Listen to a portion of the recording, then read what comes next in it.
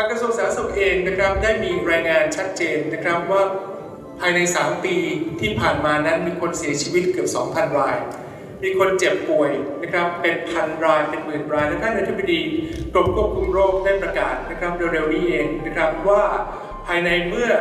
ปีที่แล้วนั้นมีคนเสียชีวิตประมาณ 1,000 รายด้วยกัน และเข้าโรงพยาบาลเป็นหมื่นราย เพราะฉะนั้นตรงนี้นะครับสิ่งที่ต้องจัดการเรื่องรากเหง้าของาระบบสาธารณสุขตรงนี้นะครับก็คือสารเคมีซึ่งณขณะนี้แทรกเข้าไปในอาหาร และพืชผักผลไม้ต่างๆนะครับ